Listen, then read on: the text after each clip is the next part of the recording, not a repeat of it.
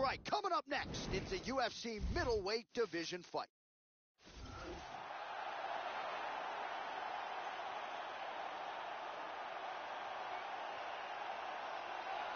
So here he is, the Curitiba, Brazil native, Anderson the Spider Silva. Still considered by many to be the greatest of all time. You know what he did at the beginning of his UFC career 16 0, 10 successful middleweight title defenses, and is still proving deep into his 40s that he can still be competitive. This is a guy who still has the hunger and the.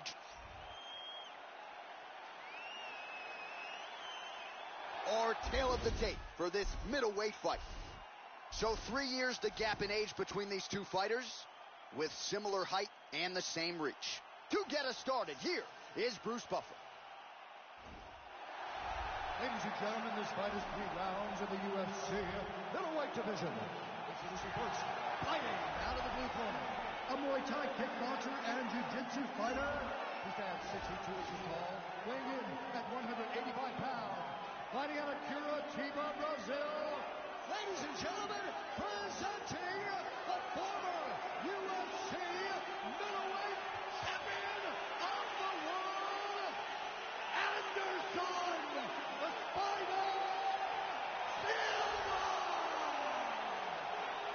And his opponent, fighting out of the red corner, a Muay Thai kickboxer and jiu-jitsu fighter. He stands 63 inches tall, weighing in at 185